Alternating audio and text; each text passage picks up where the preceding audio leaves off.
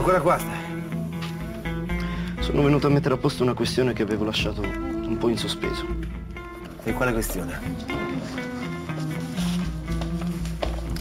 Ken, non voglio avere debiti con te. Sei tifoso?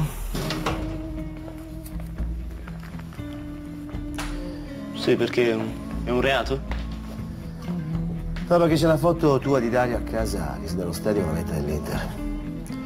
Questo portasoldi l'hai rubato con i soldi dentro o a parte? Senti, adesso te li tieni. Senti, grand'uomo, tu non hai la minima idea dei guai in cui ti sei messo. I tuoi soldi non li voglio. Vuoi i miei soldi? Sai che cavolo ne frega? Tanto non puoi uscire dall'ospedale, non hai sentito? Guarda, io non sono un tuo paziente, io faccio quello che voglio. E tu non puoi uscire lo stesso. Oh, tu a me ordini non ne dai. E tra un po' smetti di darli anche a mio fratello, capito? Purtroppo ci vediamo tra poco. Forse non ci siamo capiti. Io devo uscire. Senti ragazzino, sei tu che non hai capito. Abbiamo appena ricoverato una paziente con una malattia infettiva molto grave. E non possiamo uscire da qua per cinque giorni. Eh, Pirlone, hai perso la parola adesso, eh? Dottor Malossi, scusi, c'è bisogno di lei della Beltrame. È urgente, per favore. Arrivo. Andiamo.